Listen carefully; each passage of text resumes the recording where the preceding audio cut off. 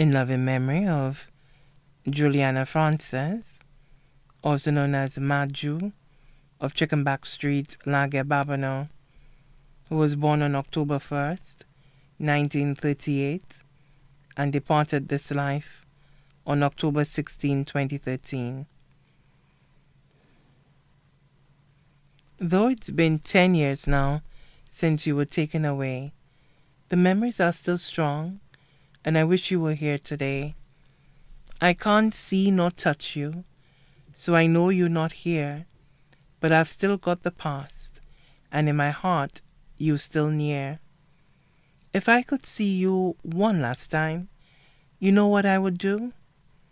Release all my emotions and say, Mom, I love you.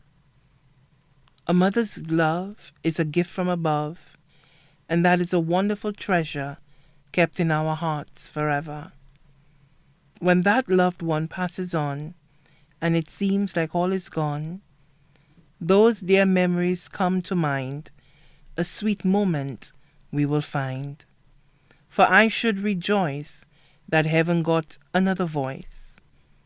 Her body may be upon this earth, but her soul is in heaven, living a new birth. If heaven had a window, and God granted me a view of all the beauty it beholds, I'd only look for you. I'd listen for your laughter that was always music to me. If I could only view once more the smile that warmed my heart, I'd treasure that moment as long as I live, and we must be apart. Here on earth I search for you and pray to God for signs that every day that passes you are still with me in my mind. I know you're happy in heaven. You've earned your mansion indeed. I imagine your kitchen table and you waiting there for me. I love you and I miss you more than words can say. And what I wouldn't give just to talk to you today.